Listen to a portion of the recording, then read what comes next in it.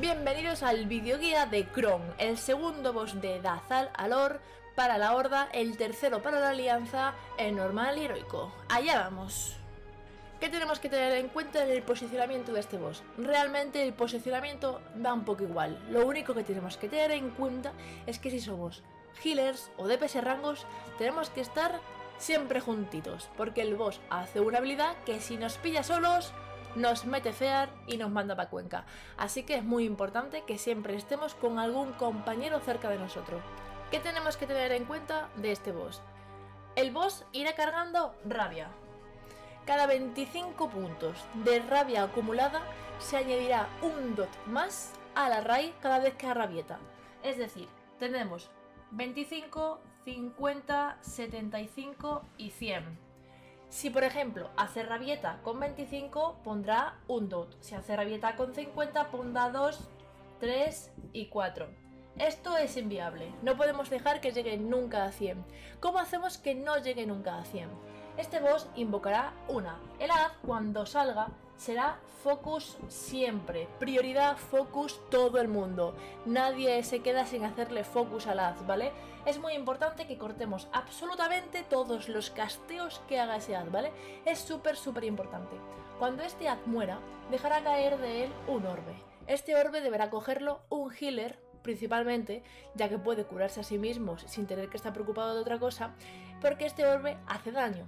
¿Este orbe para qué vale? Este orbe lo que hace es que cuando el boss tiene acumulada X número de rabia, podemos forzar la rabieta. Entonces podemos forzarla cuando esté en 25 y hará solamente una carga. Es preferible forzar la rabieta con una carga. Tenemos que tener en cuenta que aunque sea solo una carga, hay que tirarse desde healing porque sigue siendo mucho daño aunque sea solo una. Si no podemos justo forzarla con una, deberemos forzarla con 50, que serían dos.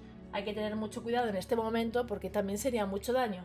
75 lo mejor es ni intentarlo, es, hay que intentar no hacerla con 75. En el caso de que se tenga que hacer con 75, pues es súper importante que tengamos en ese momento Link, Barrier y todo ese tipo de CDs, porque si no, lo más probable es que la party muera. Por eso es importante que el healer use el orbe cuando estemos en 25 o en 50 de rabia, para que la rabieta no nos haga tanto daño. Hay que intentar evitar ese 25, bueno, y el 100 hay que evitarlo sí o sí, es inviable. En 100 ni nos tenemos que plantear, ¿vale? Una mecánica importante que tienen que tener en cuenta los tanques es el combo bestial. ¿En qué consiste el combo bestial?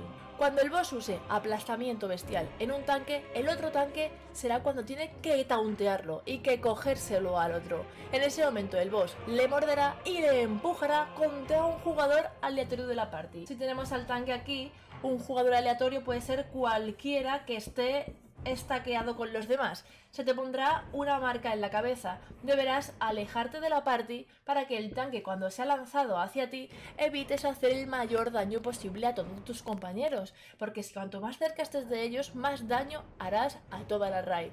Entonces, cualquier tipo de combo, ya sea con un fuego en el suelo o justo con una rabieta o lo que sea, puede ser fatal si ese daño se añade con el que tú no te has apartado. Por último, otra habilidad que hay que tener en cuenta es que hay unos cohetes que caen del cielo que dejan un área de fuego en el suelo. Esta área de suelo solo afecta a los rangos y a los healers. Puede afectar a un melee si un rango o un healer está demasiado cerca del boss, es decir, mal posicionado. Esta área es un poco difícil de esquivar, normalmente nos da un tic, pero si estamos muy muy atentos se puede esquivar. Este cohete cae del cielo haciendo una especie de espiral y que cuando cae ya deja el zonal del fuego en el suelo. Es un poco complicado porque hay muchas veces que cuando está cayendo no sabes exactamente dónde va a caer y a lo mejor si te mueves puede que incluso entres más en la área, ¿no? Pero lo importante es que esté todo el mundo junto en el mismo punto, así cuando lo ves caer, sabes perfectamente que va a caer donde estás porque estáis todos juntos en el mismo punto. Entonces te coges y te apartas hacia un lado u otro, siempre la raid junta, ya que si estás junta es mejor, ya que, como he dicho anteriormente, hay una habilidad que si os pilla solos os meterá un fear. Este boss no tiene mucho más, simplemente hay que recordar que hay que focusear al haz cuando salga, cortarle todo, coger el orbe, forzar la rabieta antes de 75 de rabia y tirarse defensivos, tirarse CDs de healer, tirarse todo cuando haga la rabieta. y full, full, full boss, full DPS boss. Esquiva las cosas y poco más. Realmente no tiene mucha más dificultad y no es mucho más complicado que esto. Muchísima suerte con el boss, espero que os resulte muy sencillo hacerlo y que esta guía os haya servido de algo. Tenéis en la descripción de este mismo vídeo esta misma guía, pero en escrito.